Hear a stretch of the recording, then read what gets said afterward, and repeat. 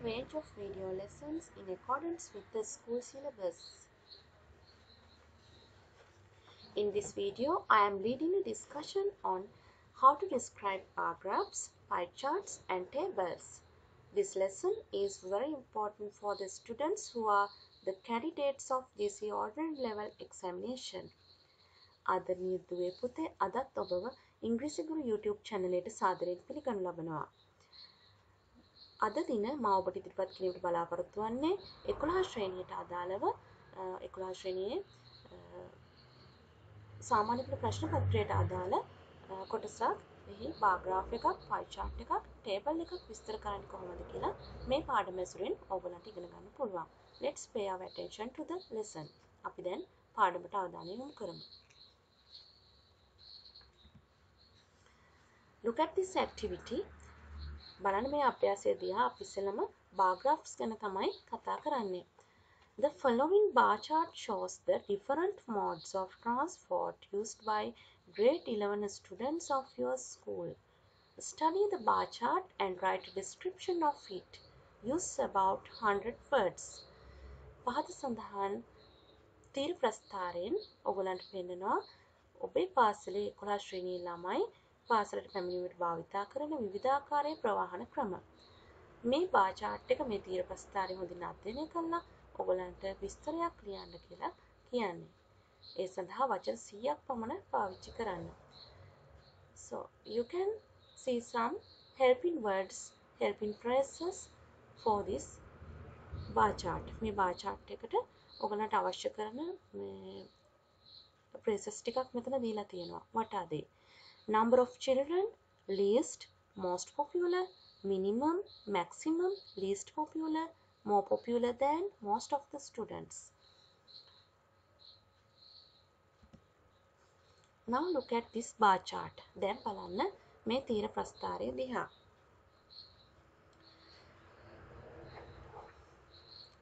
look at the title what is this title the different modes of transport pravahanaye vividha akara.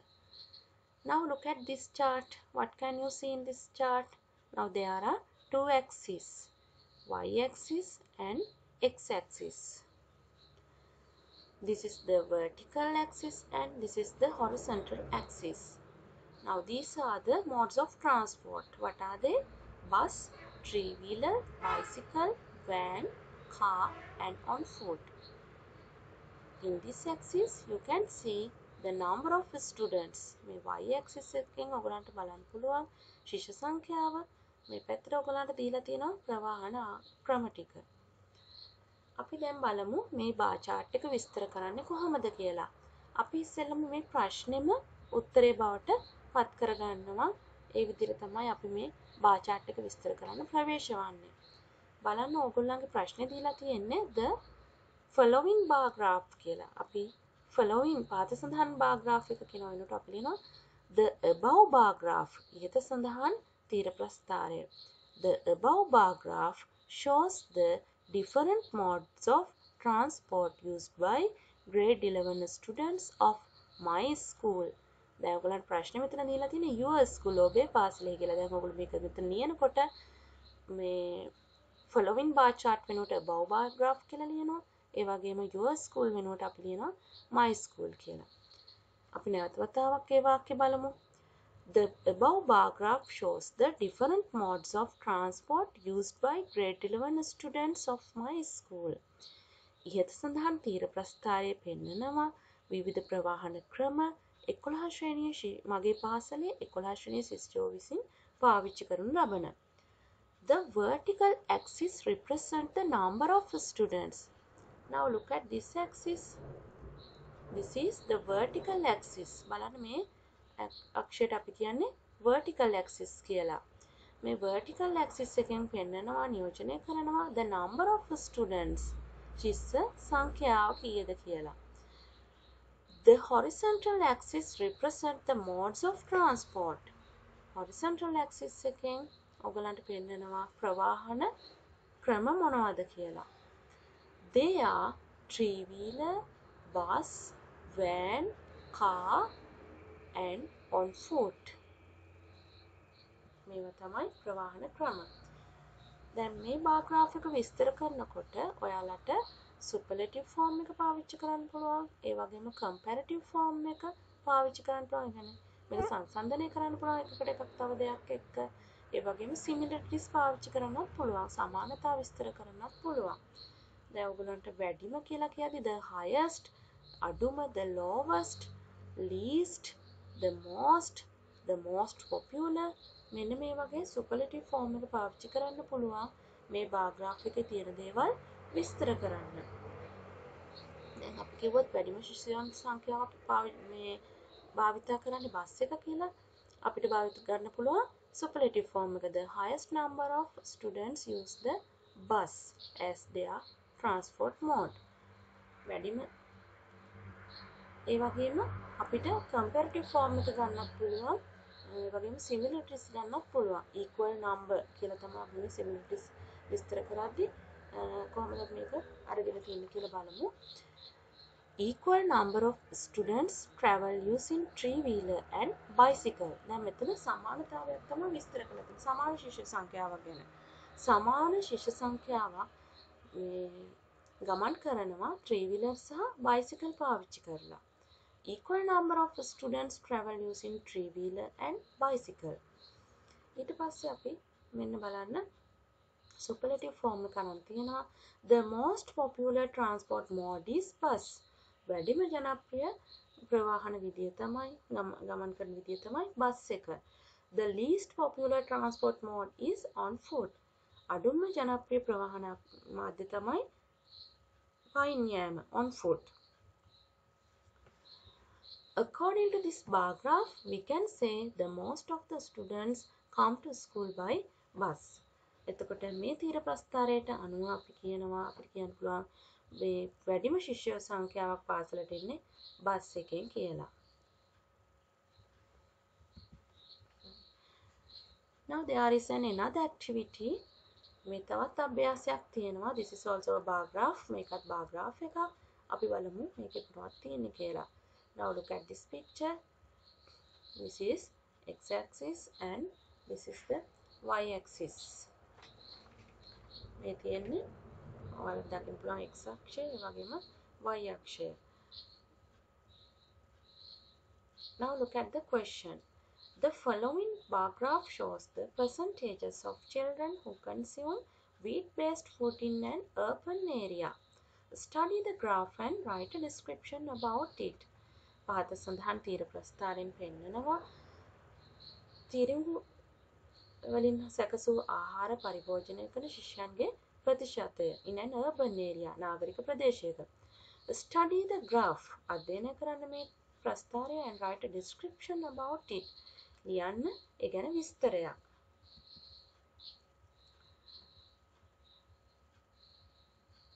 let pay our, let's pay our attention to the answer අපි දැන් උත්තරයට අවධානය යොමු කරමු.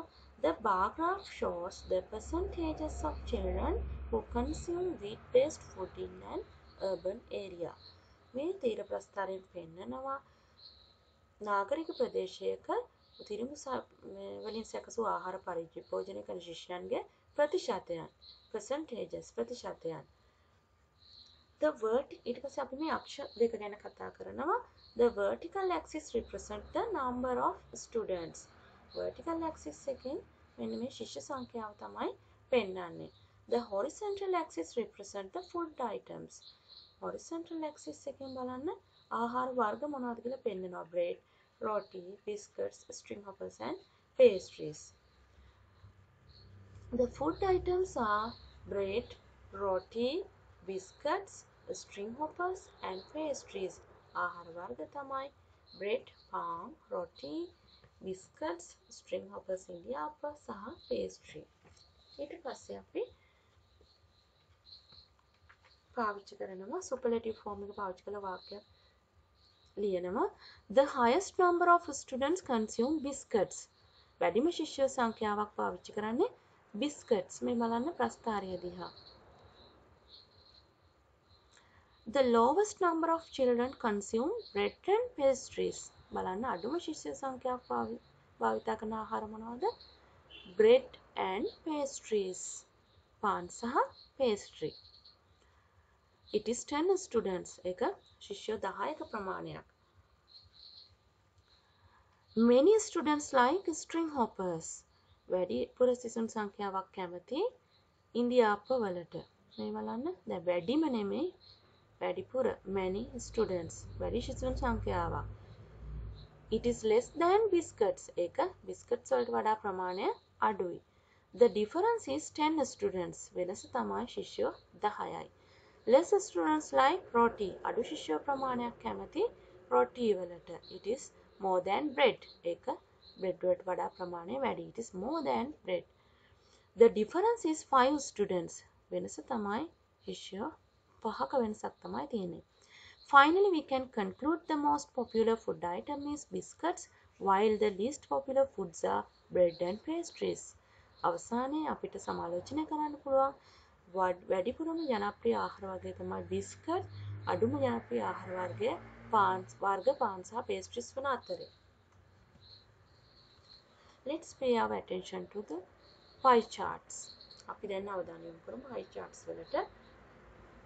අපි දැන් බලමු කොහොමද pie chart එකක් විස්තර කරන්න කියලා. මොකද්ද මේ pie chart එකක් කියලා කියන්නේ?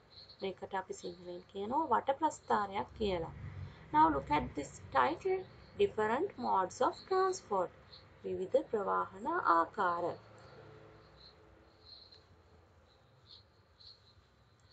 The above pie chart shows the percentage of students using different modes of transport to and from school. ඊට සඳහන් වට ප්‍රස්ථාරයෙන් පෙන්නනවා විවිධ ප්‍රවාහන ක්‍රම පාසලට එමට සහ පාසල යාමට භාවිතා කරන ශිෂ්‍යයන්ගේ ප්‍රතිශතය. The modes of transport are bus, school van, train, motorbike, car, on foot and cycle. ඒ ප්‍රවාහන ක්‍රම තමයි bus, school van, train, motorbike, car, on foot and bicycle. දැන් අපි සුපලටිව් ෆෝම් එක පාවිච්චි කරලා බලන්න මේ වාක්‍යයක් ලියලා තියෙන විදිහ. The most popular transport mode is bus. වඩාත්ම ජනප්‍රිය ප්‍රවාහන ක්‍රමය තමයි බස් එක. It is 35% and it is the majority. එක ප්‍රමාණය 35ක් ඒක තමයි බහුතරය majority. 25% of the students use the school van to travel to and from school. 25% of school 25ක් මේ ස්ටුඩන්ට්ස්ලා පාවිච්චි කරනවා ස්කූල් වෑන් පාසලට ඒමට සහ යාමට 20% of the students travel used by train. සියට විස්සක ශිෂ්‍ය ප්‍රමාණයක් කෝච්චි භාවිතා කරලා ගමන් කරනවා. 10% of the school students use cycle as a mode of transport. සියට දහයක ශිෂ්‍ය ප්‍රමාණයක් යාලගේ ප්‍රවාහන ක්‍රමය විදිහට සයිකල් එක එහෙම නැත්නම් බයිසිකලය පාවිච්චි කරනවා. A major minority of 5% of the students travel to school by motorbike. minority සුළුතරයක ප්‍රමාණය සියයට පහක් පාවිච්චි කරන ශිෂ්‍යෝ ගමන් කරනවා මේ මෝටර් බයික් එකකින්. The car is used by only 3% of students. බලන්න මේ ප්‍රස්ථාරය දිහා කාර් පාවිච්චි කරන්නේ සියයට තුනක් පමණයි මේ ශිෂ්‍ය සංඛ්‍යාවෙන්. The lowest percentage of students බලන්න මෙතනත් මම සුපලටිව් ෆෝම් එක පාවිච්චි කරලා තියෙනවා. The lowest percentage of students come to school on foot. අඩුම ශිෂ්‍ය සංඛ්‍යාවක් අඩුම ශිෂ්‍ය ප්‍රතිශතයක් පාසලට එනවා. පයින් එක සියට දෙකයි. Let's pay our attention to the describing tables. Then අපි අවධානය යොමු කරමු. ටේබල් එකක් කොහොමද විස්තර කරන්න කියලා. Now look at this table. The following table tells us you where 130 students in your school like to study after their A-level examination. පහත සඳහන් වගුව පෙන්නනවා ඔබට ශිෂ්‍යෝ එකසිය තිහක් ඔබේ පාසලේ ඉගෙන ගන්නවා එයාලගේ A-level භාගයෙන් පස්සේ write a description gives in the table මේ ටේබල් එකේ දීලා තියෙන විස්තර සඳහන් කරන්න use about 100 words වචන 100ක් වගේ පාවිච්චි කරන්න. now uh, country number percentage රට ශිෂ්‍ය සංඛ්‍යාව ප්‍රතිශතය now look at this chart මේ මේ table එක දිහා හොඳට බලන්න right now I am going to uh, describe this chart the above table tell us where 130 students in our school like to study after their A-level examination. අපේ පාසලේ ශිෂ්‍යෝ එකසිය තිහක් කැමති ඉගෙන ගන්න යාළගේ එලෙවල් විභාගෙන් පස්සේ the countries are ඒ රටවල් තමයි America England India Russia Japan and other countries. දැන් බලන්න අපි සුපලටිව් ෆෝම් එක මෙතෙන්දි පාවිච්චි කරලා තියෙනවා. The most students like to study in America. වැඩිම ශිෂ්‍ය ප්‍රමාණයක් කැමති ඇමරිකාව ඉගෙන ගන්න.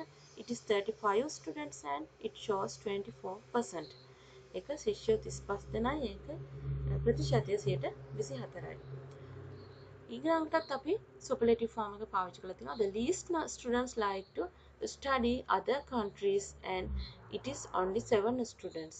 අනිකුත් ශිෂ්‍යයන් කැමති ඉගෙන ගන්න වෙනත් රටවල. ඒ ඒ වගේම ඒ ප්‍රමාණය තමයි seven students ශිෂ්‍යෝ හතයි. It is 5.6% ඒක සියයට පහයි දශම හයයි. බලන්න ඊළඟට සිමිලරිටිස් විස්තර අර පාවිච්චි කරලා තියෙන විදිහ. The equal number of students like to study in India and Russia. සමාන ශිෂ්‍ය සංඛ්‍යාවක් කැමති ඉගෙන ගන්න. ඉන්දියාවේ සහ රුසියාවේ it is 10 students each and it is 8% each. ඒක මේ ප්‍රමාණය ශිෂ්‍යෝ 10යි ඒ වගේම 108ක ප්‍රමාණයක්. 28 students like to study in England. මේ බලන්න ශිෂ්‍යෝ 28 දෙනෙක් කැමති එංගලන්තයේ ඉගෙන ගන්න. The percentage is 22.4 percentage එක 22.4යි students 25 students like to study in Japan and it is 20% ජපානය ඉගෙන ගන්න පුළුවන් ශිෂ්‍යෝ 25 දෙනා ඒක සියයට විස්සක ප්‍රතිශතයක්. 15 students like to study in Australia and it is uh, 12% ශිෂ්‍යෝ 15ක් කැමති ඕස්ට්‍රේලියාවේ ඉගෙන ගන්න. ඒ වගේම ඒක 12ක ප්‍රතිශතයක්.